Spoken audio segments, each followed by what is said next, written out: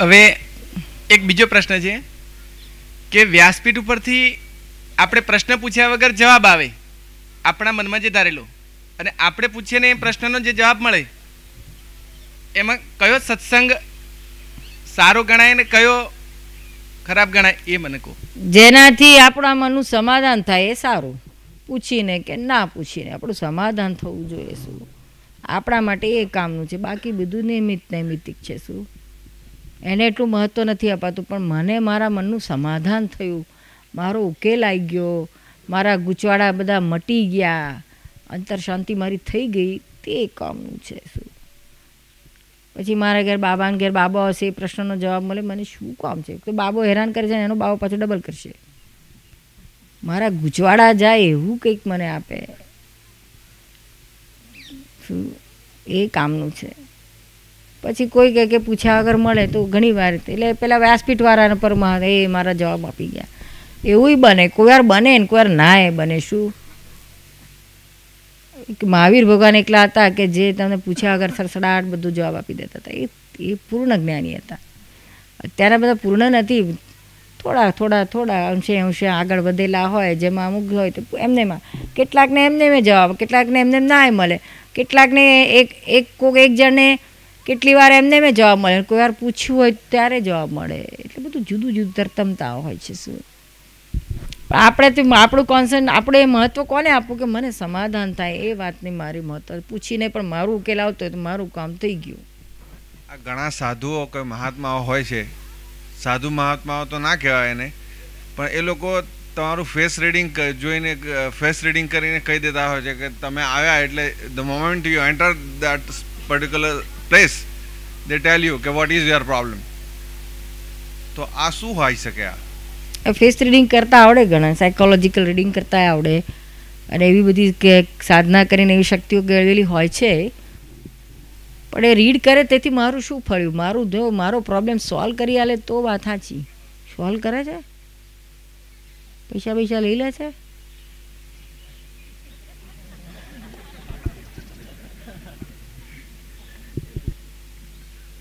આપણે અંજાઈ જઈએ એકવાર કાં તો અંજાઈ જઈએ. કે પણ પ્રોબ્લેમ તો પ્રોબ્લેમ જગ્યાએ રહ્યો સોલ્યુશન ના રહ્યું. ને આપણે ત્યાં અંજાઈને ત્યાં જ પૂરા થઈ ગયા અને પછી જે માગે આપી દઈએ.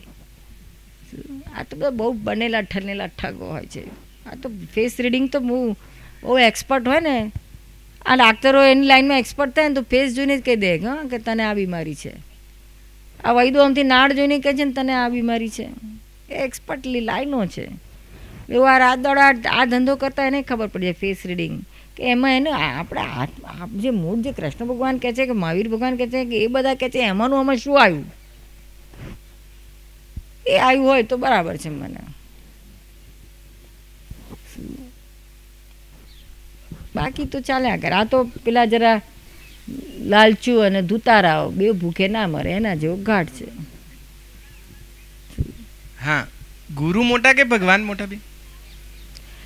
આપણામાં છે ને ગુરુ ગોવિંદ દોનો ખડે કિસકુ લાગુ પાય બલિહારી ગુરુદેવ કી ગોવિંદિયો બતાય. એટલે ગુરુદેવની બલિહારી છે પણ પછી ગોવિંદ મળ્યા પછી ગુરુને ચોંટવાનું ના હોય ગોવિંદને જ ચોંટવાનું હોય. હા તો કેવા ગુરુને પકડવા જોઈએ અને કેવાને ના? જે આપણે ગોવિંદિયો બતાય.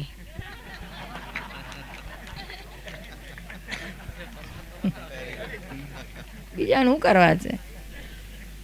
તો પછી અવિશ્વાસ ના થાય એટલે ગુરુના ઉપરથી વિશ્વાસ છોડ દેવાનો પછી? ભાઈ આપણે તો મળી ગુરુ- ગયા. ગુરુ નક્કી કરતા પહેલા જોવાનું. એ ગુરુ કે કે એ તું મારી કંઠી બાંધ હું તારો ગુરુ થઉં છું. ત્યારે આપણે પૂછવાનું ભાઈ તમે મને ગોવિંદ બતાવો? બતાવવા હોય તો હું કંઠી બાંધું. તમે કહો મોટો મોટો મોટો શું કહેવાય ગાયો ભેંસોને બાંધે છે ગાડીઓ બાંધું કંઠીની જગાએ પણ મને ગોવિંદ બતાવો. તો કે હા તું આટલી માળા કર આટલા જપ કર આટલા આમ કર. પણ એ કરું પણ મને ગોવિંદ મળશે. અને કોઈ તમારા પાસેથી આ માળા જપ કરીને કેટલાને મળ્યા એના મને સેમ્પલ બતાડો કહેવાનું. હું જરા ટેસ્ટ કરી જોઉં. અહીંયા બેઠેલામાં જ તો ખબર નથી પણ સ્વામી વિવેકાનંદને તો રામકૃષ્ણ પરમહંસે બતાવ્યા જ. તો સ્વામી વિવેકાનંદ અને રામકૃષ્ણ પરમહંસ વિશે કહો કંઈક. એમને જેને બતાવે એના માટે રામકૃષ્ણ પરમહંસ ઊંચામાં ઊંચું ગુરુ હતા. એવા ગુરુ અત્યારે ક્યાં હોધો જો મળે? તો અમારે જોઈએ છે લાવો. તમારે ગોવિંદ જોઈએ છે ને? ગુરુ જોઈએ ને પહેલા? હા એટલે તમને ગોવિંદ ગોવિંદ મળે એવું એવું અમે કરી આલીશું તમને. હા. પણ અમારે ગુરુ નથી થવું પણ. તમારે જે માનવું એ માનવું અમારે ગુરુ નથી થવું. અમારે અમે ગોવિંદ જોડે એકાકાર થઈએ કે પાછા શિષ્યને શિષ્યના ચેલા ચેલીઓ જોડે એકાકાર થઈએ? એ પર્યાયમાં જતા નથી પણ હા એ જ ખરું ગોવિંદ બતાવી દઈશું તમને. એ આપ આપ આ સ્થૂળ આંખાએ કે દેખાય એવા એ નથી શું? દિવ્ય ચક્ષુથી દેખાય એવા હા તો બસ આંતરચક્ષુ એ દિવ્ય ચક્ષુ જે હોય અમારે ખોલીને બતાવો બસ. હા એ બતાવીશું. કાલે રાખ્યું છે બધું એ કામ. કાલે તમને બધું એ થઈ જશે શું? મારી મહી છે ને હું જ છું. મારાથી એ નોખા નથી. હું જ છું. તમારો આત્મા એ જ ખરો પરમાત્મા છે. એ જ ખરા ભગવાન છે. કૃષ્ણ ભગવાને એને જ કહ્યું છે કે આ જ સ્વરૂપ છે ખરું. મહાવીર ભગવાને આ જ ને કહ્યું છે. આત્મા જ સ્વરૂપ. તે જ અમારું સ્વરૂપ. બાકી તો ફિઝિકલ બોડી તો બધાની ફિનિશ થઈ ગઈ શું? કૃષ્ણ ભગવાને પારધીનું બાણ વાગ્યું. માહિર ભગવાનનું નિર્વાણ થયું રામચંદ્રજીનું નિર્વાણ થયું બધાનું પૂરું થઈ ગયું. આપણે એને ભગવાન માનીએ છીએ પણ એ સ્વરૂપે નથી એ શુદ્ધ આત્મ સ્વરૂપે છે તત્વ સ્વરૂપે છે. અને તે તમારું સ્વરૂપે તે જ છે એ ભાન થાય ત્યારે ખરા અર્થમાં. પછી એ આપણી પાસેથી ખસે નહીં એ જાગૃતિમાં રહ્યા જ કરે.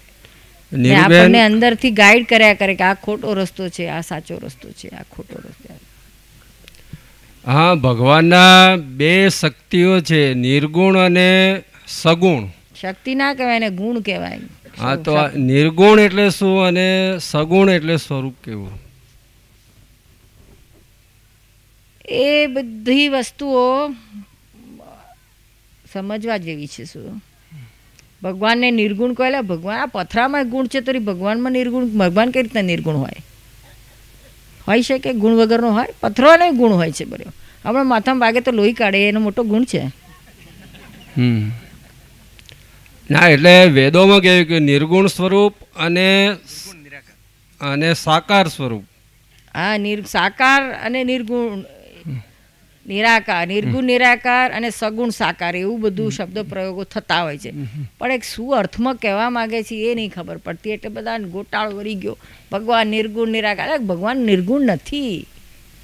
તો એને ભગવાન કોઈ કોઈ પણ તત્વ સાયન્સનો લો શું કહે છે? કોઈ પણ એલિમેન્ટ એના ગુણધર્મ એની પ્રોપર્ટી સહિત હોય તો એ એલિમેન્ટને એલિમેન્ટ તરીકે પુરવાર થાય. એનું અસ્તિત્વ પુરવાર થાય. ભગવાનનું અસ્તિત્વ ભગવાનના ગુણો છે અનંત ગુણનો ભંડાર છે એવું પાછા કહે છે. કૃષ્ણ ભગવાને ગીતામાં કેટલા મોટા બધા ગુણો કયા છે. શું શાશ્વત છે અનાદિ અનંત છે અજર છે અમર છે અવિનાશી છે પરમાનંદી છે અનંત જ્ઞાનવાળો છે અનંત દર્શનવાળો છે અનંત શક્તિવાળો છે. આ તો બધા ગુણો છે જ એના. તો એને નિર્ગુણ કેવી રીતના કહેવાય? બોલો ત્યાં વિરોધાભાસ નથી લાગતો? હવે યોગની ક્ષમતાઓ કહો બેન. યોગ ના ના આનું પૂરું કરવા દો. હા, હા, હા, હું પૂરું એટલે આ ખરેખર શું કહેવા માગે છે કે પ્રકૃતિના ગુણોથી પોતે આત્મા કે પરમાત્મા સંપૂર્ણ નિર્ગુણ છે. પ્રકૃતિનો ગુણ એનામાં એકેય નથી. પણ પોતાના સ્વગુણોથી તો ભરપૂર છે. પોતાના ગુણો છે એનામાં. જ્ઞાન, દર્શન, પરમાનંદ. તો ભગવાને અર્જુન જ્યારે શોકમગ્ન બન્યો મહાભારતના યુદ્ધની અંદર, તેનામાં દેહવાદ હતો. પણ ભગવાને પછી દેહવાદ દૂર કરવા માટે એને ઘણા બધા પ્રશ્નો એનું સમાધાન કર્યું, પણ દેહવાદ દૂર થયો નહીં. પછી જ્યારે ભગવાને એનું સગુણ સ્વરૂપ ભગવાને બતાવ્યું, પોતાનું વિરાટ સ્વરૂપ વિરાટ સ્વરૂપ બતાવ્યું. સગુણ નહીં એને વિરાટ સ્વરૂપ શબ્દ વાપર્યો છે. એ સગુણ નિર્ગુણ શબ્દ નથી એમાં વિરાટ સ્વરૂપ શબ્દ વાપર્યો છે. શું? હવે આપણે પોતાની ભાષામાં બધું ચિત્રી બિત્રીને કે ચિત્રામણમાં આવે એ સ્વરૂપ? એ શબ્દમાં આવે એ સ્વરૂપ ભગવાનનું જે ખરું સ્વરૂપ છે એમણે ચોખ્ખું કહ્યું છે. એ શબ્દમાં નથી આવે એવું તો ચિત્રમાં કેવી રીતના આવે? આ તો બાળ લોકોને સમજવા ચિત્ર બિત્ર મૂકી દીધા.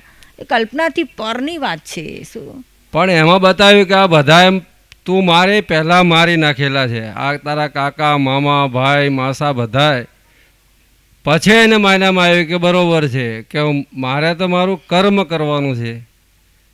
હા બરાબર છે. તો? તો નાખેલા કૃષ્ણ ભગવાન કે બધા મારીને પાપ વરેલું એ તો બહેને શું કહ્યું છે કે આ બધામાં તું આત્મા જો. આ તારા કાકા મામા ભાઈ નથી પણ ખરેખર આત્મા સ્વરૂપે છે. જો આત્મા માઇનસ કરી નાખ તો આ બધા મળદા છે. આ હેતુ સમજાવવા માટે એમને બધા શબ્દો જાત જાતના આપણું નાનું છોકરું સમજતું ના હોય તો એ કે આપણે કહીએ કે તું હમણાં રમ રમ ઘરની બહાર જઈશ નહીં. બહાર રખડવા જવાનું નથી તું ઘરમાં બેસી રહે ને ના માનતું હોય તો આપણે માએ એને કે કેટલું બધી રીતે સમજાય જો બહાર જઈશ તો બાવો આવશે તને લઈ જશે. તોય ના ડરે તો કહેશે કે પોલીસવાળા આવશે. તોય ના ડરે તો કે પેલો ડૉક્ટર એને ઇન્જેક્શન આપવા આવશે. કેટલી રીતે એને કહેવું પડે? ત્યારે પછી એકાદ મગજ એને મગજમાં ઘૂસ્યું તો એ ઘરમાં બેહી રહે. એવું અર્જુન આત્માને વાત માનતો જ નહોતો, સમજતો જ નહોતો. કેટલી જાત જાતની વાત કરી જાત જાતની વાત કરી. પણ કશું કરાયું નથી. ખાલી એને સમજણ જ આપ આપ કરી, જ્ઞાન જ આપ્યું છે. કોઈ ક્રિયા કરાઈ નથી અર્જુન પાસે. એ કરતાં કરતાં એને જ્ઞાન મગજમાં જ્ઞાન માર્ગ છે આખો. એને જ્ઞાન ફિટ થયું ને એને ક્લિક થયું કે ના, હું આત્મા સ્વરૂપ છે. અને એનો અહંકાર ઓગળ્યો, ભગવાનને સરેન્ડર થયો. વિરાટ સ્વરૂપ એનું નામ કે જે સામાના અહંકારને ખલાસ કરી નાખે. એવું કંઈક એને દ્રષ્ટિમાં આવ્યું ભગવાનનું સ્વરૂપ અને તે આ પરમાત્મા સ્વરૂપ બતાવ્યું. એ આ ફિઝિકલ આંખોથી દેખાયું નથી એને મય ક્લિક થયું. ક્લિક થવાની વાત છે. ભગવાન શબ્દો પ્રયોગ તો બધા બહુ કર્યા. કરતાં કરતાં જે મોમેન્ટ એને ક્લિક થયું એ સાચું. વિરાટ સ્વરૂપ જે બતાવ્યું એ તે પોતાનું રિયલ સ્વરૂપ બતાવ્યું પરમાત્માનું. પછી એ કોઈ રીતે કોઈ શબ્દથી કે પિક્ચરથી બતાવ્યું ને એટલે ભગવાનના પેટમાં બધું બતાડ્યું. આ- બ્રહ્માંડની ઉત્પત્તિ કેવી રીતે થઈ બેન? થઈ જ નહીં ઉત્પત્તિ છે એમ કરવાની વાત? અનાદિ અનંત છે શું? ઇટરનલ છે શાશ્વત છે. આ સાયન્ટિસ્ટોએ ખોળી કાઢ્યું છે ને કે કેટલા બધા બધા ફિઝિકલ એલિમેન્ટ્સ છે. હેલિયમ બેરિયમ ગોલ્ડ કોપર આ બધા જે તત્વ છે એલિમેન્ટ દે આર ઇટરનલ છે. Cannot be created cannot be destroyed છે કે નહીં? સાયન્સવાળો કહે છે ને? તેમાં આપણા જ્ઞાનીઓ કહે છે આત્મા તત્વ એવું છે કે કે એનું ક્રિએશન નથી, એનું ડિસ્ટ્રક્શન નથી. જળ તત્વ એવું છે કે એનું ડિસ્ટ્રક્શન પરમાણુ રૂપાંતરતા છે, પણ એનું એન્ડ નથી આવતો. Energy can be transmitted from one to another but it cannot be destroyed તો જે વસ્તુ શાશ્વત છે ઇટરનલ છે, એને ઇટરનલનો અર્થ જ નો ક્રિએશન નો ડિસ્ટ્રક્શન નો ઉત્પત્તિ નો વિનાશ. આ બ્રહ્માંડ આખું ઇટરનલ છે. એમાં પછી બધા જાત જાતની કથા, વાર્તાઓ મૂકીને એનો ઉત્પત્તિ બનાવી, જન્મે બનાવીને મારો, એનો વિનાશે બનાવી દીધો, બતાવી દીધો. How can it be possible કોઈ એલિમેન્ટનો વિનાશ છે જ નહીં. હા, એનું ચેન્જ થઈ શકે. ફોર્મ આ તે બધું, એનું કોમ્બિનેશન જુદા જુદામાં બધું ચેન્જ થઈ શકે. પણ એનો એન્ડ ના થઈ શકે. અનાદિ અનંત એટલે તો બધા જ્ઞાનીઓએ તો કહ્યું છે, ચોખ્ખું અનાદિ અનંત છે. સ્વયંભૂ છે એવું કહ્યું છે, લ્યો. જે સ્વયં એટલે મેળે જ ઉત્પન્ન થયેલું છે. ઉત્પન્ન થવાની વાત જ કહે છે કે it was it is and it will be શાશ્વત કહ્યું છે.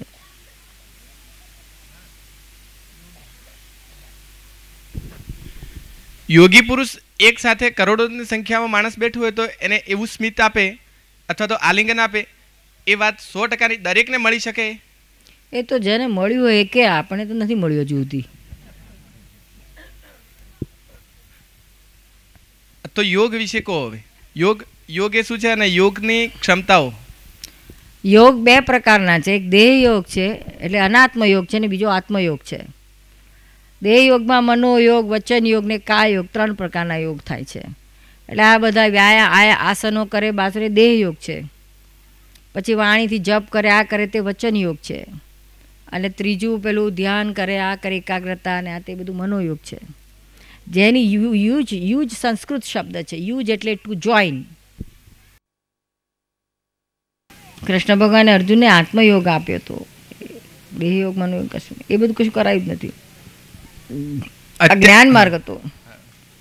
એટલે આ જેને આ યોગ માર્ગથી આગળ વધવું હોય એને આ બધા જ ટેપિંગ કરતું કરતું જવાનું સ્ટેપ બાય સ્ટેપ અને આઠ અંગ જે પતંજલિ મોટા મોટો મહાયોગી થઈ ગયો જેને આખો પાર કર્યો છે યોગ માર્ગને એચીવ કર્યો લાસ્ટ સ્ટેજ એમાં છેલ્લા આ કાળમાં છેલ્લો એ થઈ ગયો મહાન. એટલે છેલ્લી કક્ષા. બાકી તો બધા વચ્ચેના બધા છે સ્ટાન્ડર્ડના આ છેલ્લું સ્ટાન્ડર્ડ હતું. પાતાંજલ. એને એનો યોગશાસ્ત્રમાં બધા આઠ અંગ આપ્યા છે ને યમ નિયમ પ્રાણાયામ પ્રત્યાહાર ધ્યાન ધારણા સમાધિ ને આસન આ બધા જે છે તો તો એ બધા કરી કરીને આગળ છેલ્લે સમાધિ એટલે નિર્વિકલ્પ સમાધિ. એટલે આમ બેસીને સમાધિ નહીં કરવાની. નિર્વિકલ્પ સમાધિ એટલે ઉઠતા બેસતા ખાતા પીતા બોલતા ચાલતા કામ કરતા લડતા ઝઘડતા એ અંદર સમાધિ રહે આત્માનું લક્ષ્ય રહ્યા કરે. એ છેલ્લામાં જેલી સમાધિ. એને નિર્વિકલ્પ સમાધિ કરી છે. આ જ્ઞાન મળશે તમને કાલે પછી તમને ડાયરેક્ટ અમે આ નિર્વિકલ્પ સમાધિ આપીએ છીએ. તમે વાતને જેટલું સમજો અને એને પકડી લો તો કામ નહીં તો કે આ તો બધી કથા વાર્તા જેવું છે તો પછી ઉડી જશે વાત જ નહીં લાગે. ના પકડવા જાય છે? ના તો તમે તમને તમને એમ નથી કે બધા ચેતવવા કહીએ છીએ કે આ આ જ્ઞાન માર્ગ છે, એટલે કેવળ જ્ઞાનને સમજણથી જ જવાનું છે. આમાં કોઈ ક્રિયાથી નથી, એટલે સમજણ તો જવામાં જરાક ફેરી દેશો ને તો તમારું હાથમાં આવેલું જતું રહેશે. જેમાં આપણા હાથમાં અમૃત આવ્યું હોય અને કોઈ કહેશે, ના, અમૃત તો હતું છે આ કાળમાં તો, આ તો આ તો ઝેર છે. તો તમે, હે, ઝેર છે. તમે તરત ફેંકી દો. એવો એવી રીતનું કહીએ છીએ. એટલે આ સમજો, તમને અનુભવ થાય ને એના અનુભવને પકડીને ચાલશો ને તો ડેફિનેટલી તમને અનુભવ થશે જ. બાકી યોગ માર્ગ ઘણો લાંબો માર્ગ છે. આ કાળમાં એ માર્ગે બહુ પહોંચવું શક્ય નથી. આસનો બાસનો કરતાં જ આખી જિંદગી ઉતરી પૂરી થઈ જાય. યમ નિયમ સુધી હજુ પહોંચી નથી શકે તો આગળનું ક્યાં સુધી પહોંચાય? બહુ ડિફિકલ્ટ છે. હા, એમાં એટલું છે કે આ બધા યોગ માર્ગમાં એ છે કે તમે જાત જાતની રિદ્ધિ સિદ્ધિઓ બહુ ઉત્પન્ન થાય. જરાક તમે કંઈક કરવા માંડો ને, તો એમાં તમને બહુ બધું ઊભું થાય ને આ પછી માણસ એમાં પછી અટવાઈ જાય. પ્રગતિ ના થાય. અને માથે સતત યોગી કોઈ ગુરુ તમારે માથે રાખવો પડે. જાતે ને જાતે કરવા જાઓ તો પછી એનું ઊંધું જો ચાલ્યું ને તો તમે કાં તો ગાંડા થઈ જાઓ, કાં પેરાલિસિસ ક્યાં ઊંધું ચતું થઈ જાય. આ બધી ધ્યાનની ક્રિયાઓમાં. એટલે સતત કોઈના ગાઈડન્સ નીચે કરવું પડે શું કોન્સ્ટન્ટ હા. આ ગાઈડન્સ નીચે તો આપણે કરીએ. પણ આ યોગની જે તમે વાત કરી પતંજલિ વિજ્ઞાન, યોગ વિજ્ઞાન, એની અંદર જ આવે છે કે આ જે યોગ છે, પ્રાણાયામ, પ્રાણાયામથી શક્તિ એકાકાર થાય અને નાભીની સાડા ત્રણ આટા ફરેલા, પેલા જે કુંડલીની શક્તિ જાગૃત કરવા માટે શું શું કરવું પડે? હા, પણ આ બધી શક્તિ કોની છે? અનાત્માની જ છે ને? આત્માની થોડી છે આ? આમાં આત્મા છે જ નહીં ને? અને અભી અનાત્મા વિભાગ છે. આ જે બધી નાળી ઈંગળા, પીંગળા, સુષુમણા, એ બધી અના- અનાત્મા વિભાગ છે. ધ્યાન એકાગ્ર કરે છે, તે અનાત્મા છે. અને ધ્યાન, હું ધ્યાન કરું છું, એ કરનારો અહંકાર છે. બોલો હવે હા ને તમારા આત્મા જાણો તો બે મોયેલ ના પડે. આ તો બધી શક્તિઓ તમને પ્રગટ થતી જાય. આત્મા ના મળે. આત્મા આ રીતે તો થાય એમ જ નથી. તો અમારે કણકણમાં રામ કેવી રીતના સમજવાનું? હે? તમે તો કહો છો ને કે આ અનાત્મક કહો છો ને તો કણકણમાં રામ જોઈએ ને આપણે તો દરેક જગ્યાએ ભગવાન તો છે જ. પ્રહલાદે પણ થંભમાંથી પ્રગટ કર્યા હતા ને રામને. તો એ કણકણમાં રામ તઈ ક્યાંથી આવે ને તો આપણી નાડીમાંથી કેમ ના નીકળે? આપણે. દરેકે દરેક અવયવો નીકળવા જોઈએ ને. ના. એક જ આત્મા છે દરેકની મેં અને તે જીવ જીવની અંદર જે લિવિંગ બિંગ છે ને એને આત્મા કહ્યું છે શું? લિવિંગ બિંગ છે એની અંદર આત્માનું પ્રેઝન્સ છે. નોન લિવિંગમાં નથી નહીં તો આત્મા ને અનાત્મા બે ભેગું ના થાય. તો થાંભલામાં કે આત્મા આ બધી સ્ટોરીઓ છે ભાઈ. થાંભલામાં કે આત્મા બાત્મા ના હોય. કોઈ દેવ એમાંથી બહાર નીકળે એ જુદી વસ્તુ છે.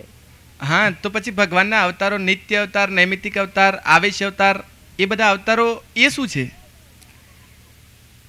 કોઈ ભગવાન ઉપરથી જ અહીંયા જન્મે નહીં, માના પેટે આવે નહીં. જે પૂર્ણ ભગવાન હોય આ મોક્ષમાં બેસી ગયેલા હોય, ફરી અહીં આવી ના શકે. શું? એ આ, આપણે કથા વાર્તામાં આ બધું મૂકે એટલે લોકોને જરાક ઇન્ટરેસ્ટ આવે. બાકી રામ મોક્ષે ગયા. પછી રામ, પછી કૃષ્ણનો અવતાર રામ કેવી રીતના થાય? એક વખત જે મોક્ષે ગયા, ઋષભદેવ ભગવાન મોક્ષે ગયા, એ બધું એ એ પાછું એ વાત આવે છે. તો જે મોક્ષે ગયો, ફરી પાછો અવતાર લઈ જ ના શકે.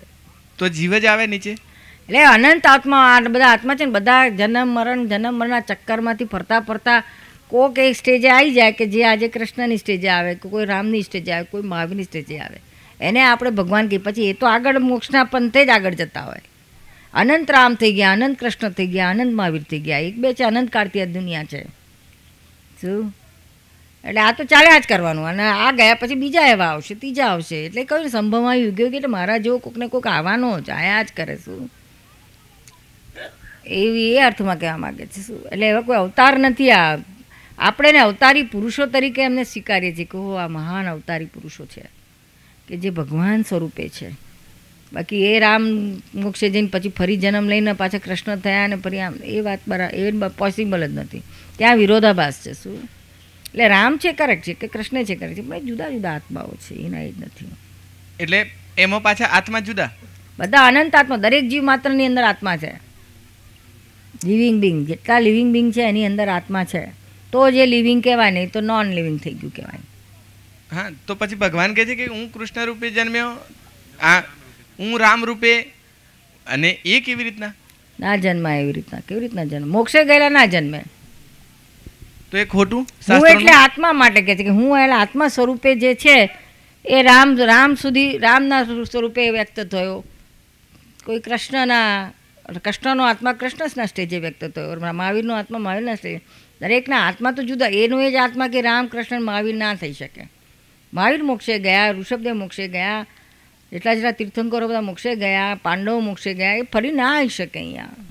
મને નથી સમજાતું. કારણ કે દેખો એક તો તમે. રામ શ્રી કૃષ્ણ ભગવાન બીજા એ અવતારો છે ભગવાનના વ- એ જે અવતારો છે તો એ અવતારો તો કેમ પછી આત્મા એક જ છે તો પછી એકનો એક કેમ ના થાય?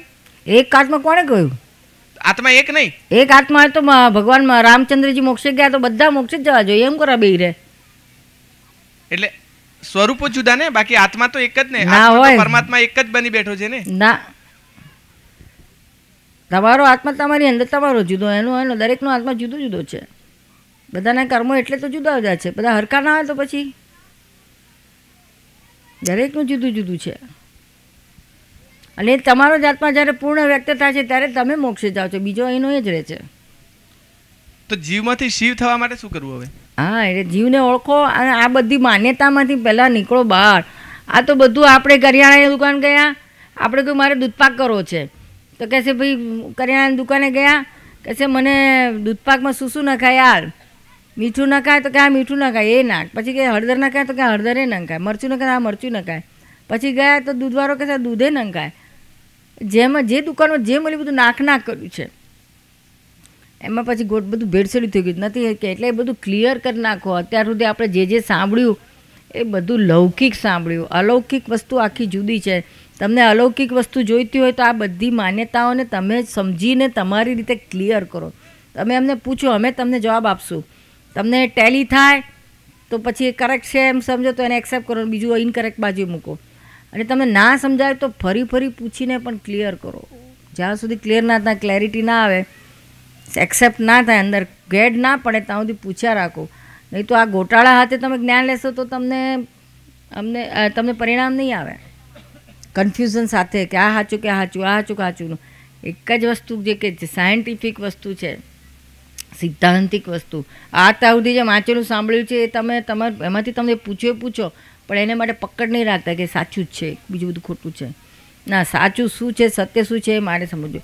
સી, એક આપણે હવે પહેલાં કહ્યું કે ભાઈ આપણા ધર્મમાં બે વસ્તુ છે. એક અધ્યાત્મ છે ને બીજી બાજુ ધર્મ છે. એમાં કર્મકાંડ આવે, ભક્તિ આવે કથા વાર્તા આવે, બધુંય આવે. રામાયણની કથા આપણે હમણાં હિન્દુસ્તાનમાં પાંચસો પ્રકારના રામાયણ છે. બોલો એ કઈ, કયું સાચું માનશો તમે? દક્ષિણનું રામાયણમાં રાવણને પૂજે છે ને ઉત્તરના રામાયણમાં રાવણને બાળે છે. ત્યાં ભગવાન માને છે રામને. રાવણ કરતાં, રામ કરતાં રાવણને મહાન માને છે દક્ષિણ ભારતમાં. શું? પાછું અધ્યાત્મ રામાયણ જુદું છે, વશિષ્ઠ રામાયણ જુદું છે, જૈન રામાયણ જુદું છે. જૈન રામાયણમાં તો રાવણને અને મંદોદરીની મંદોદરીને પેટે જન્મેલી જ સીતા છે પુત્રી. એટલે હવે આમાં મા બધા સાંભળનારા બિચારા કન્ફ્યુઝ થઈ જાય કયું સાચું કયું ખોટું કે. એટલે આ વાર્તા કથા વાર્તા એક વાત છે એમાં તરતમતા હોય લોકોને લોકભોગી કરવા માટે થોડું થોડું આમ તેમ થાય. પણ તત્વજ્ઞાનમાં તો એક વસ્તુ એક પરમાણુ જેટલું આમ તેમ થયેલું ચાલે નહીં. તત્વની વાત આવે ત્યારે. એટલે આ બધું બતાવે કે થાંભલામાં ભગવાન થાંભલામાં ભગવાન કહેતા હોય જ્યાં જીવ છે ચેતનતા છે ત્યાં છે ભગવાન.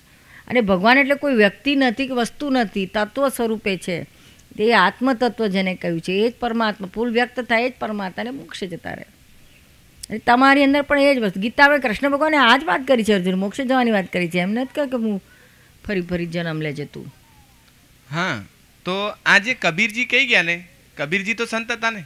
કબીરે કહ્યું સબ ઘટ મેરા સાયા ખાલી ઘટના ખાલી કોઈ ઘટના બલિયાળી ઉસ ઘટ કી જો ઘટ પ્રગટ હોય હા તો ઘટ ઘટ પ્રગટ હોય તો એ ઘટ ઘટ કેમ પ્રગટ એ ઘટ ઘટ તો એક જ છે ને ના લે ઘટ એટલે શું અર્થ ખબર? ઘટ એટલે શરીર હા અને એની અંદર બધા ઘટની અંદર સાઈ એટલે આત્મા છે હા હવે જે આત્મા પ્રગટ થયો એની બલિયારી છે નહીં તો બધા મરવાના એ હા તો પછી કેમ પ્રગટ કેમ ના થાય? ક્યાં પ્રગટ થાય છે? એ તો તું એને ઓળખું તો પ્રગટ થાય ને કેવી રીતના થાય? પેલું કહ્યું છે ને મેં જાણું હરી દૂર હે કબીર સાહેબ કે છે. મેં જાણું હરી દૂર હે હરી હૃદય માહી આડી ત્રાટી કપટ કી તાસે દી સતનાય અને કપટ એટલે કયું? શું નામ અજ્ઞાન. પરેશભાઈ સેવક. હા સોરી. પરેશ. હું પરેશ છું એ જ કપટ છે. તું સાઈ છું ને માનું છું હું પરેશ છું. લે, કપટ થયું ને અમે પૂછે લે, તું કોણ છું? તો હું પરેશ છું. અલે, કપટ કરે, તું યુ આર ચીટિંગ. તું આત્મા છે, પરમાત્મા છે, સાંઈ છે, અને તું કહે છે કે હું પરેશ પરેશ તો નામ છે. ક્યાંથી તું પરેશ કહેવાય? કે આ શરીર તો શરીર તો કાલે બળી જવાનું છે. તું ક્યાંથી એ? તું આત્મા છે. કબીર સાહેબ આ કહેવા માંગતા હતા. અને એમણે ચોખ્ખું કહ્યું ઉપર ઉપર કોઈ છે નહીં અંદર જ છે. મેં જાણું હરિ દૂર હે કે, પણ ના, હરી હૃદયમાં એ જ આપણું એ જ અમે એ જ કહેવા માગીએ છીએ સાંઈ એટલે આત્મા. તો પછી સ્વર્ગ નરક? એને હું તોપને બારે ચડું પેલા આત્માનું ઓળખવાની વાત કરને? એમ નહીં તમે કહ્યું કે આત્મા ભગવાન જ અહીં છે તો ભગવાન આપણે તો જ્યાં છે ત્યાં જ જવાનું હોય ને આપણે શું કરવું છે? સ્વર્ગ સ્વર્ગ નર્કમાં નરક? ભગવાન નથી તારી મહી છે. આટલું ચોખ્ખું તો કે છે હરિદ હૃદયમાં અહીં પછી ક્યાં બીજી વાત? સ્વર્ગ નરકમાં ભગવાન મળતા હશે? તારી દ્રષ્ટિ ખેરે તો બધાની અંદર જીવ માત્રની તને આત્મા છે એવો ખ્યાલ આવી જશે. અંદરનું વિઝન ખુલશે. તારો ઘટ ખુલ્યો, તારો, તારા ઘટમાં સાંઈ પ્રગટ થયા, તો તને બધાની અંદર સાંઈ છે એવું ખ્યાલ આવશે. પણ તારે તને ખ્યાલ ના આવે તો બીજાનું ક્યાંથી ખ્યાલ આવે છે? એટલે ઘટ એટલે દેહને કોઈ, દેહની અંદર કહ્યું છે, થાંભલાની અંદર નહીં કહ્યું કબીર સાહેબે. શું મનુષ્ય જન્મ એક એક સર્કલ જે છે આપણું જીવનનું એમાં આદિ એટલે કે મીન્સ કે અંત અને શરૂઆત. એ મનુષ્ય જન્મ જ છે કે બીજો કોઈ જન્મ છે? કારણ કે મનુષ્ય જન્મ ભગવાને કહ્યું છે કે ઉત્તમ છે. એમાં શ્રેષ્ઠ બિગિનિંગ એટલે આ આ મનુષ્ય જન્મ અત્યારે મળ્યો એના પહેલા બિગિનિંગ મનુષ્ય જન્મથી જ થઈ છે એવું કહેવા માંગો છો? ના ના. તો? એટલે હા બિગિનિંગ મનુષ્ય જન્મ પછી એ કર્મ જો ખરાબ હોય તો એ પ્રમાણે એ તે યોનિમાં ફરતો ફરતો આવે. પછી ક્રમ પ્રમાણે જે તે યોનિ એમાં કેવું સિદ્ધાંત છે? આ તો થિયરી ઓફ ઇવોલ્યુશન છે. ડાર્વિને આપી છે ને થિયરી ઓફ ઇવોલ્યુશન અમુક સુધી કરેક્ટ છે, પછી આગળની કરેક્ટ નથી ને પાછળની કરેક્ટ નથી. આજે આ આ- જે બ્રહ્માંડ છે યુનિવર્સ છે, એમાં આ બધા જીવ છે, એનું ઇવોલ્યુશન થાય છે. એટલે નિગોદ એટલે અવ્યવહાર રાશિમાંથી પાછા વ્યવહાર રાશિમાં આવે છે કે જ્યાં એનું નામ પડે છે કે આ છે તો સેવાળ છે, કે આ અમીબા છે, કે આ છે તે છે. પછી એકેન્દ્રિય બે ઇન્દ્રિય, ત્રણ ઇન્દ્રિય, એક જીવની વાત કરું. ઇવોલ્યુટ થતો થતો થતો પંચેન્દ્રિયમાં આવે છે. પંચેન્દ્રિયોમાં કેટલા પંચેન્દ્રિયો જાનવરો છે? એમાંથી ઇવોલ્યુટ થઈને પછી છોટે મનુષ્યમાં આવે છે ચિમ્પાન્સીમાંથી આ ઇવોલ્યુશનની વાત જે આણે કરી છે ડાર્વિને કરેક્ટ કરી છે. પછી આને એ આગળ કર્મની બનવું એને બિચારાને ખબર ના હોય. મનુષ્યમાં આવ્યા પછી શું થાય છે? તો કે કરતા અહંકાર એનામાં આવે છે, કરતાપણું થાય છે હું પણ આવે છે. એટલે એના કર્મ ચાર્જ થવા માંડે છે. પછી જે પ્રમાણે કર્મ ચાર્જ થવા મળે એ પ્રમાણે એને ગતિ મળે છે. એટલે મનુષ્ય સુધી આવતા એક એક ઇવોલ્યુશનનો સ્ટેજ પસાર કરીને પછી જ્યારે મનુષ્યનું એ એ પ્લેટફોર્મ એને અચીવ થાય છે, એ પ્લેટફોર્મ એનું સ્ટે એ થઈ ગયું ફિક્સ થઈ ગયું. એટલે ફિક્સ થયા પછી આટલું લાસ્ટ સ્ટેજનું ઇવોલ્યુશન છે કે પછી એથી આગળ ઇવોલ મનુષ્યનું ફિઝિકલ ઇવોલ્યુશન રહેતું નથી. સ્પિરિચ્યુઅલ ઇવોલ્યુશન જુદી વસ્તુ છે. સ્પિરિચ્યુઅલ ઇવોલ્યુશન પછી મનુષ્યમાં થાય છે. અને લાસ્ટ સ્ટેજનું સ્પિરિચ્યુઅલ ઇવોલ્યુશન એટલે એને મોક્ષ ગતિ પ્રાપ્ત થાય. પછી ત્યાં પૂર્ણાહુતિ થાય છે. પણ આ ફિઝિકલ ઇવોલ્યુશનની વાત કરીએ ને, એમાંથી પછી જે કર્મ અને આ તે બધું શરૂઆત થાય છે તેમાં કર્મમાં પછી શું થાય કે કર્મ જો ગમે તે બાંધે મનુષ્ય ગતિમાં, તો એ વધારે વધારે આઠ આઠ ભવ સુધીનું એ બાંધે. આઠ ભાવ મેક્સિમમ ફરીને પછી પાછો મનુષ્યમાં થાય કારણ કે આ પ્લેટફોર્મ તેનું આવી ગયું. એમાંથી પછી જતો તો ના જ રહે. કાયમ માટે ના જતો રહે. થોડા વખત જેવું ફળ ભોગવે અને પાછો ફરી આવી જાય. જેમ આપણે જે કોઈ માણસને ચૌદ વર્ષની સજા હોય જેલમાં જઈને પછી પૂરી થાય એટલે પાછો આવી જાય ઘેર. એના જેવું. આ જે એને સારું હોય કે ખરાબ હોય, જે બધા ફળ ભોગવીને ને ભોગવો પૂરું થઈ જાય, ફરી પાછું મનુષ્યમાં એ એનું પ્લેટફોર્મ પછી કોન્સ્ટન્ટ આ રીતે રહે છે. એને આ લોકો કહે કે ફરી કાયમ માટે જ મનુષ્ય આ થઈ ગયો ને ફરી એ અસદમાં કહેતા હોય, વધારે એક્ઝાઝર કરીને તો ખબર નથી. પણ આ આવી શક્યતા છે. જઈને પાછો તો આવે જ છે. અને કોક એવો વિરલો હોય કે જેને આ આ જ્ઞાત્માનું જ્ઞાન થાય, કર, કરતા કર્મનું આખો સિદ્ધાંત બધો ખબર પડે, અને પોતે અકર્તા છે, કરતા છે જ નહીં. આ જળ તત્વની જ ક્રિયા છે, આત્મતત્વ છેની ક્રિયા છે જ નહીં. આ જ્ઞાન થાય, ભાન થાય રિયલાઇઝેશન થાય. તો એ પછી આ કર્મના બંધનમાંથી છૂટવા માંડે છે. છૂટતો છૂટતો બધા કર્મના કર્મો છોડી દે છે, ત્યારે મોક્ષ થાય, મોક્ષને પામે છે. એ કૃષ્ણ ભગવાને ગીતામાં અર્જુને એ જ શીખવાડ્યું. એ જ દ્રષ્ટિ આપી અને એ દ્રષ્ટિ પ્રમાણે રહ્યો, કરોડોને મારી નાખ્યા, તોય એને એક એક કર્મ ના બંધાયું ને એ જ ભય મોક્ષે ગયો. હા. આ કબીર સાહેબને જ્યારે ભગવાન રામે પેલું કહ્યું છે ને, રામ પરવાના ભેજિયા, વાંચત કબીરા રોય ક્યાં કરું તેરે વૈકુંઠ કો? જહાં સાધ સંગત ના હોય. તો મારું કહેવું એમ છે કે એ જે રામ પરવાના ઇવન રામ એટલે ભગવાન વાસ્તવમાં અહીં જ ભજવા યોગ્ય છે? કે બીજે ક્યાંય છે? કબીર સાહેબ રામ એટલે આ સ્થૂળ પેલા સીતાવાળા રામની વાત જ નથી કરી. આત્મા રામની વાત કરી છે. હા તો આત્મારામની વાત કરો. એટલે આત્માને ઓળખવાની વાત કરી છે આપણે શું? એ આ એ આત્માને ઓળખવાનું થયું તો પછી મારે મેકુંડીન કશાની શું જરૂર છે? મારે આની જરૂર છે એમ કહેવા. માંગે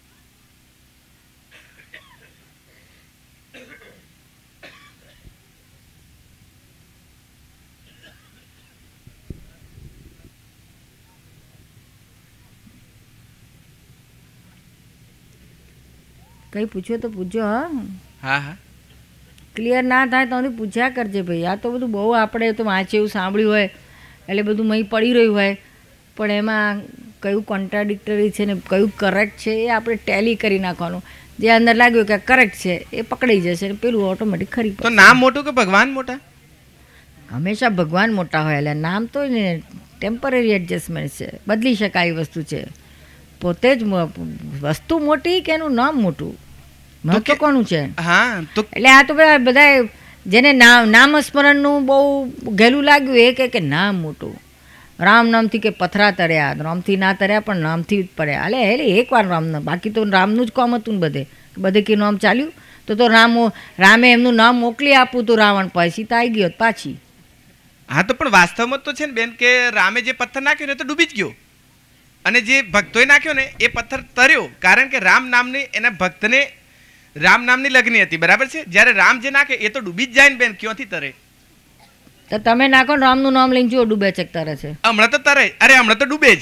કારણ કે હજુ એ ટોપ લેવલ ઉપર નથી.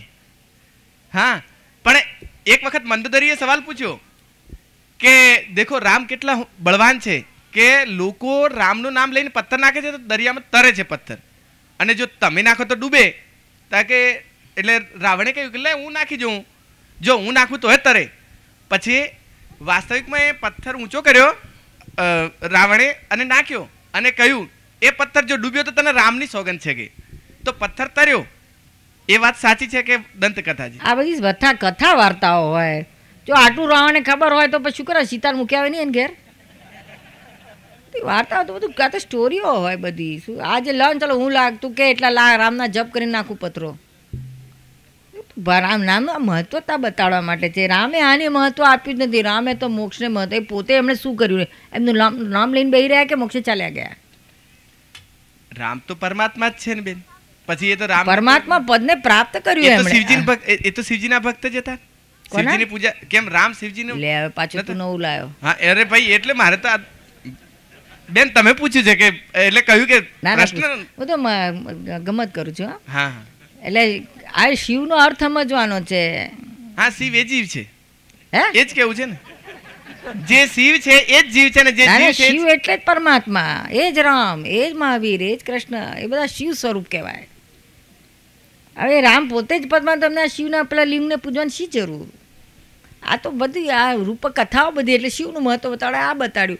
પણ એ પોતે જ શિવ સ્વરૂપ હતા. શિવોહમ શિવોહમ નહીં બોલતા? ઓમ નમઃ શિવાય બોલવાનું ઓમ શિવ ઓમ શિવ બે હાથે બોલાય? કોન્ટ્રાડિક્ટ નથી? એટલે રામે શિવપદ પ્રાપ્ત જ કરેલું હતું આ તો આ બધું મહત્વ બતાવે બતાવે કે રામે. અને એમને જે પડ્યું કે એમને શિવ એટલે પોતાના સ્વરૂપનું જ પૂજા કરી. કોઈ ફિઝિકલની ના હોય. હા એટલે શિવ સ્વરૂપને. રામ આ લેવલે નહોતા. પેલા લિંગ કરીને એની પૂજા કરે. રામ તો અંદરના શિવની વાત હતી. એ શિવને સ્વરૂપની પ્રાપ્તિ કરીને એની પૂજા કરીએ છીએ. ભજના એટલે પૂજા એટલે શું? તો કંકુ કંકુ ચોખા ચડવાની જરૂર નથી કે પેલું તિલક કરવાની જરૂર નથી. પણ એની ભજના કરી કે હું શિવ ઓહમ શિવમ એ જ શિવની ભજના કરી. હા એટલે એ સ્થિતિમાં હતા. એને ખરું કહ્યું છે. શિવ એટલે આપણે તો આમ જો આપણે બધું જોવા જઈએ ને તો કથા વાર્તા માટે બધું કરેક્ટ છે. પણ જો તત્વની વાત જોઈએ તો પછી તત્વની વાત એ પાછી બીજી આવે છે. એ જ એ જ શિવની વાત કહો એ જ રામની વાત કહો એ જ કૃષ્ણની વાત કહો જ્યારે તમારે ભક્તિ માર્ગ એનો કથાનું યોગ એ પાઠ છે એ જુદો છે.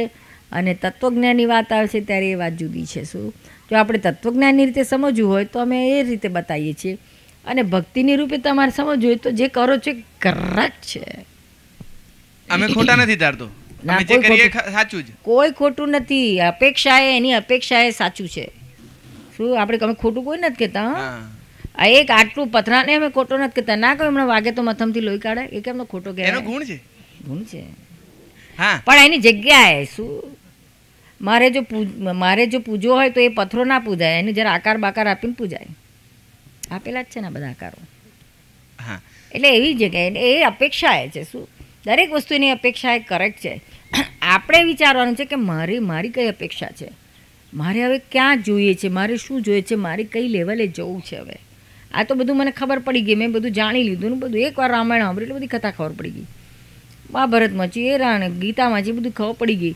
હવે મારી શું ખબર પડે? નોલેજ ઇન્ફોર્મેશન મારી પાસે બધું છે. નાવ આઈ વોન્ટ અચીવમેન્ટ જ્ઞાન વસ્તુ જુદી છે અને ઇન્ફોર્મેશન જુદી છે. જ્ઞાન એટલે પરિણામ પામવું જોઈએ. આપણા જીવનમાં આપણને મેં વર્તવું જોઈએ.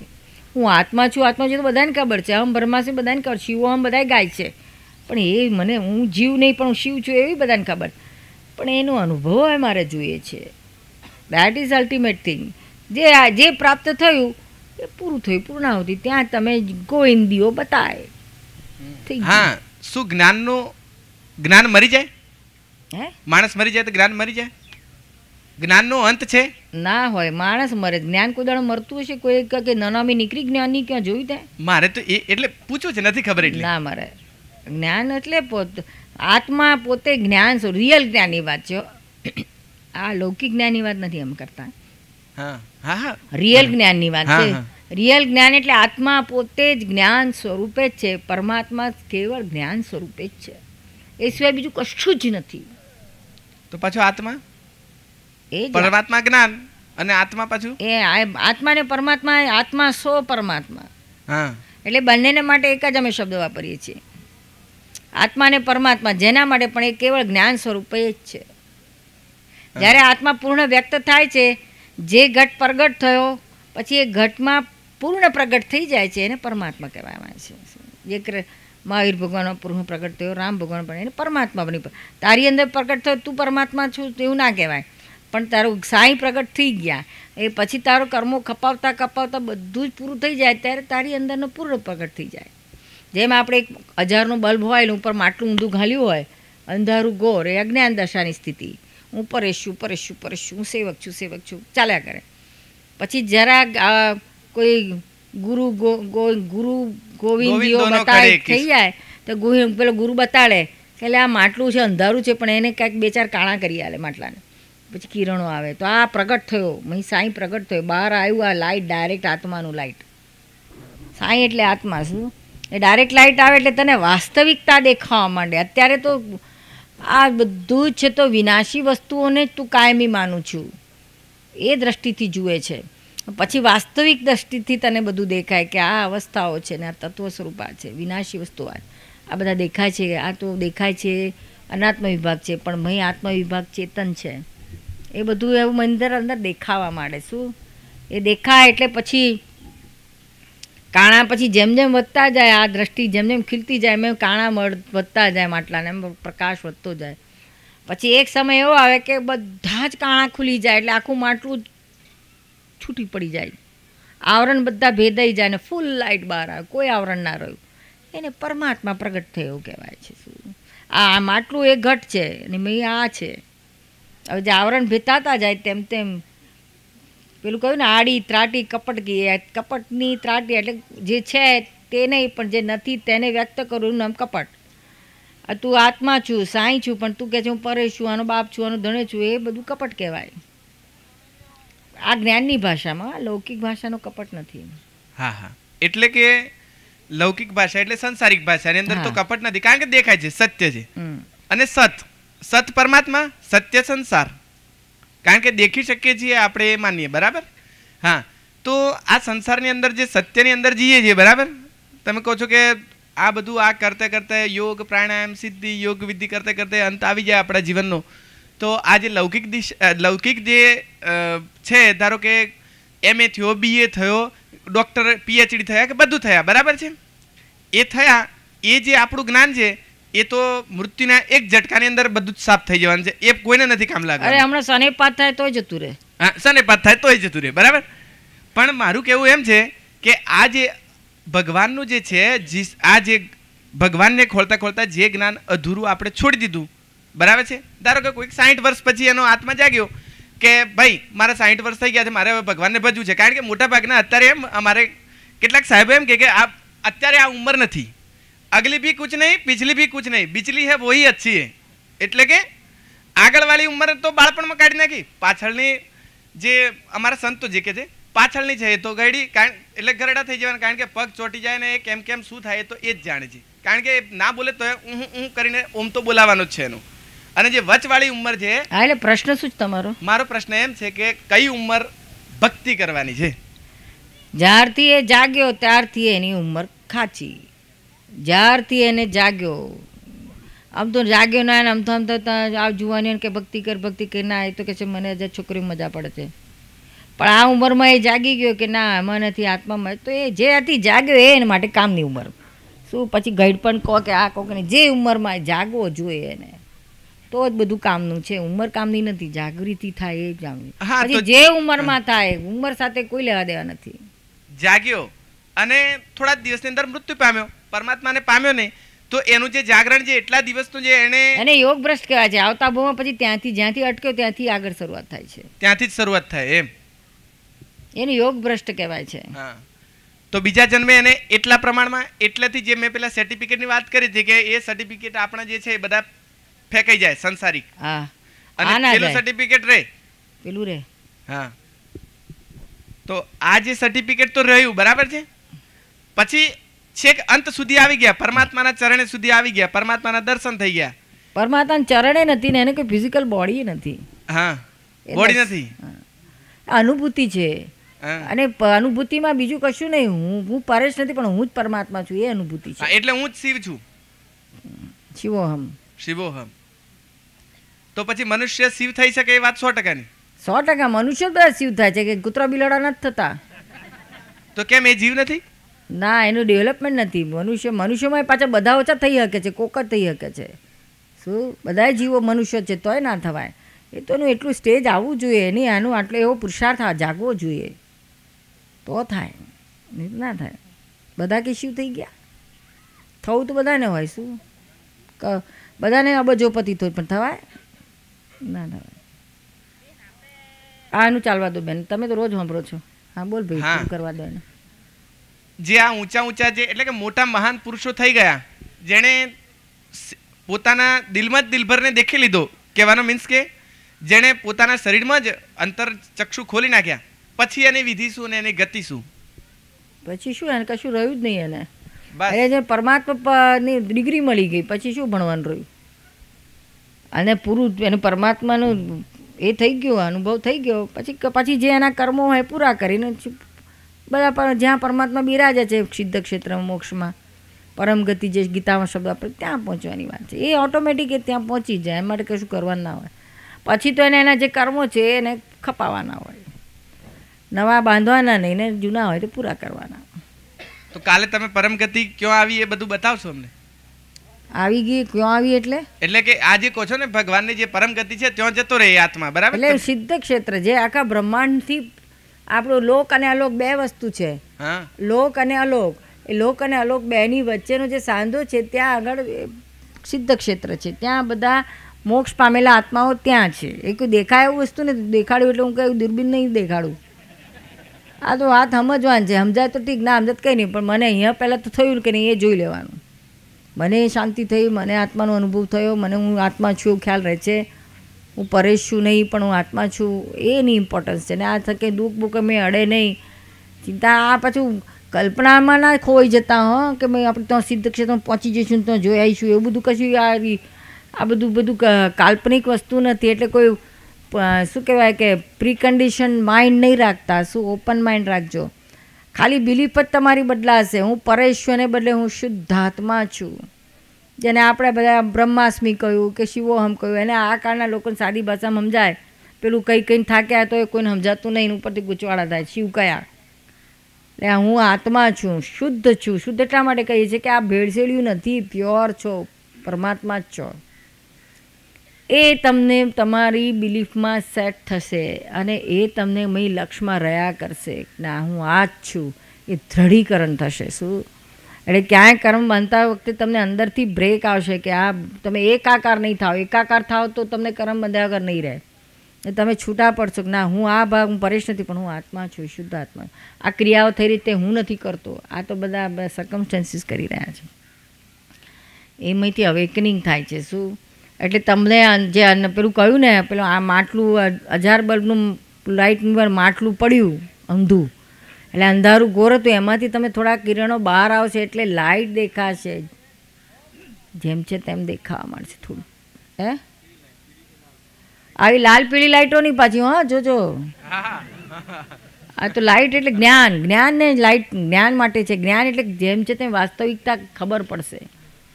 અત્યારે વિનાશી વસ્તુઓને વાસ્તવિક માની છે ત્યારે આત્મા તત્વ અને બીજું જળ તત્વ બે જુદું છે.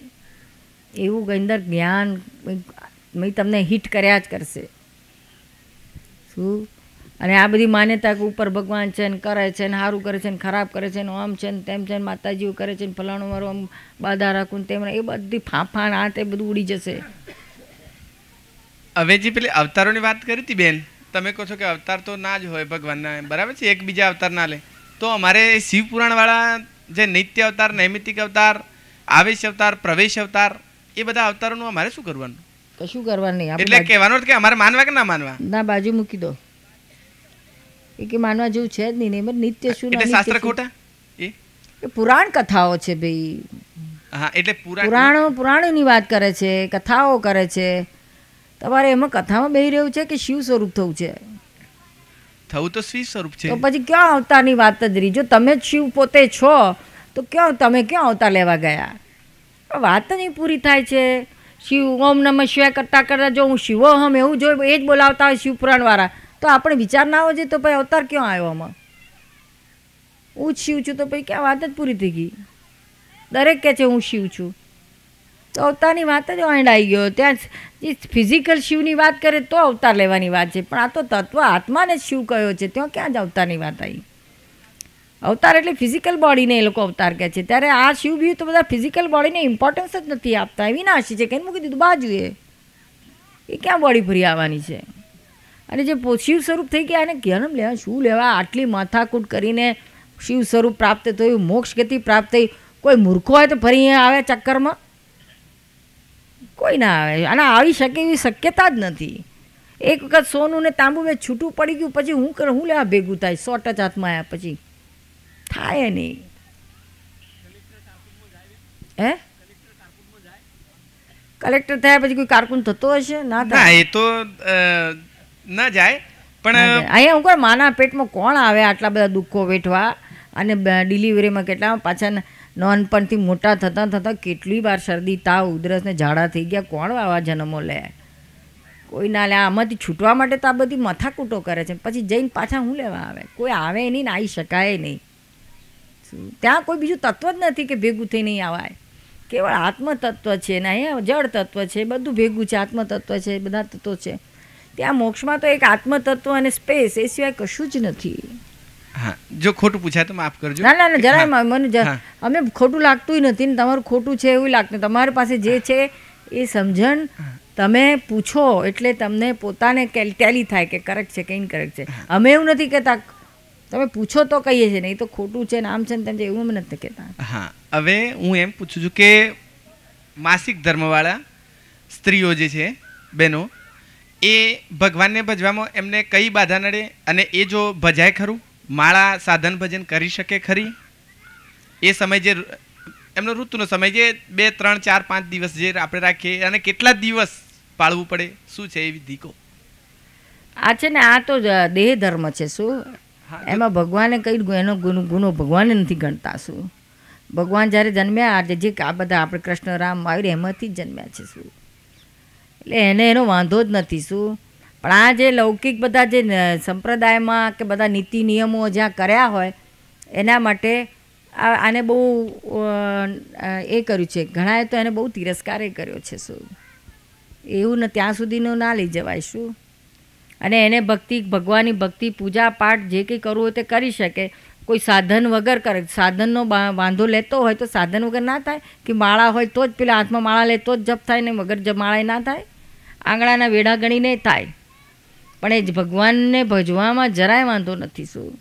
બધું જ કરી શકે. પૂજા આરતી ના કરે. ભાવથી તો બધું કરી શકે. કારણ કે નિયમ રહ્યો. એટલે સમાજમાં કે ધર્મમાં આવો એક કાયદો ઘડ્યો છે કે ભાઈ આ દિવસોમાં તમારે આ બધું આરતી નહીં કરવાની કે પાઠ નહીં કરવાના કે માળા નહીં કરવાની તો કંઈ નહીં મારે મોઢે હોય જેટલું મને આવડતું એટલું તો હું કરી શકું કે ના કરી શકું? પણ દુકાન બંધ થઈ જતી હોય તો? હે? એટલે આગળનું યાદ ના આવતું હોય કશું તો પછી તો દેખવું જેટલું યાદ આવે એટલું કર્યા કર ને. અને ના હોય તો આખો દાડો મેં આજે શું શું દોષ કર્યા મેં શું પાપ કર્યું કોને દુઃખ દીધા એ તો જોઈને એનું પશ્ચાતાપ કર્યા કર. એ બધા કરતા હું ચૂલે લે માળા કરતા હું છું આ કે મારા મારાથી શું શું ભૂલો થઈ આજે મેં કોને દુઃખ દીધું કોને રામ કર્યું તે કર્યું બધા બેસીને કરાય અને બધું જ કરાય શું?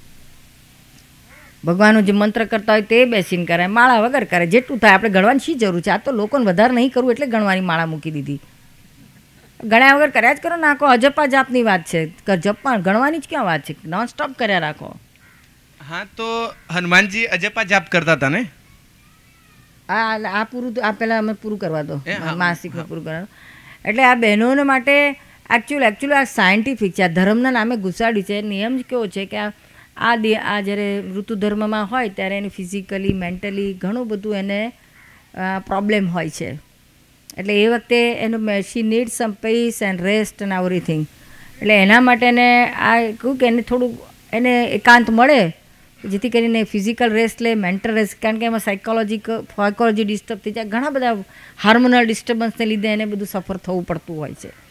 એટલે આ આપણા હિન્દુ શાસ્ત્રમાં વેદો ઉપનિષદોમાં આ વેદોમાં આપણે આયુર્વેદ પણ ઘુસાડેલું છે. એ પણ વેદમાં આવે છે.